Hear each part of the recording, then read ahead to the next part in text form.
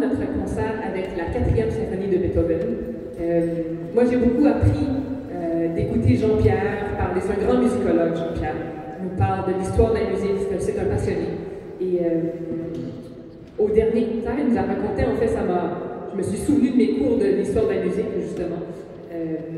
que Beethoven rompt avec une, rompt avec une, époque complètement différente, en fait. Donc, Mozart, super prolifique dans son écriture, dans sa composition, comme on sait, 41 symphonies, il faut quand même le faire, parce que Beethoven en a écrit plus long, mais 41, voilà. Et Haydn, 304. Donc voilà, vous voyez la, différence.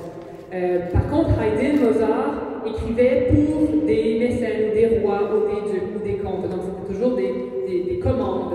Ils étaient contraints à, d'une certaine façon, à la créativité ou à l'imaginaire de ces mécènes qui leur commandaient ces pièces.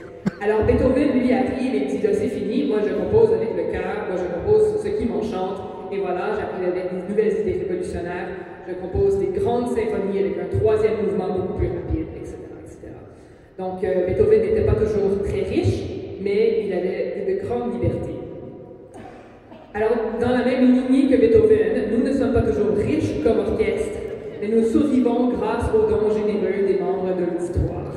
Donc, c'est comme ça que l'orchestre de Camac survit. Nous sommes des musiciens euh, amateurs, des musiciens communautaires. Nous jouons avec notre cœur, nous jouons pour le plaisir, mais c'est grâce à vos dons qu'on survit. Donc, on vous invite à la fin, si vous voulez. Il y a, je crois, un panier, c'est vrai, il y a un panier à la porte, euh, à donner généreusement pour que nous puissions continuer à faire de la musique ensemble et vous l'offrir en cadeau. Donc, voilà, bonne soirée avec la quatrième symphonie de Beethoven.